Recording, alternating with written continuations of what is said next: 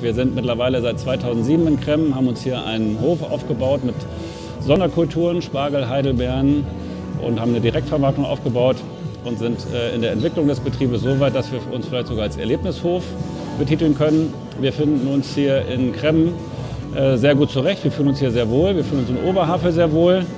Ich bin außerdem auch Stadtverordneter in Kremmen und aus dem Grunde würde ich den Herrn Busse ungern ziehen lassen, aber so egoistisch darf man nicht sein. Ich habe den Sebastian Busse als sehr engagierten, zielstrebigen, lösungsorientierten äh, Amtsträger in Kremmen kennengelernt und äh, unterstütze deshalb auch seinen Wahlkampf als Landratskandidaten und wünsche ihm dabei alles Gute und viel Erfolg und glaube, dass er dem Landkreis Oberhavel sehr gut tun würde in der weiteren Entwicklung und den ganzen Aufgaben, die vor uns stehen und denke, er ist der richtige Mann für diesen Posten.